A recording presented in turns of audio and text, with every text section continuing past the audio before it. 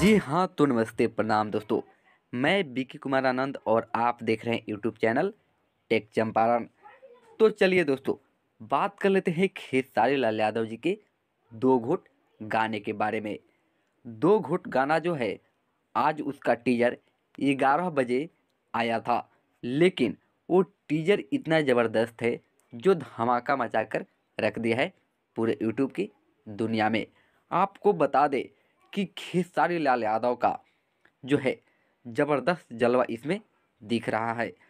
आपको बता दे कि बॉलीवुड जैसा जो है, इस वीडियो को हाई क्वालिटी में, एचडी क्वालिटी में जो है, बनाया गया है।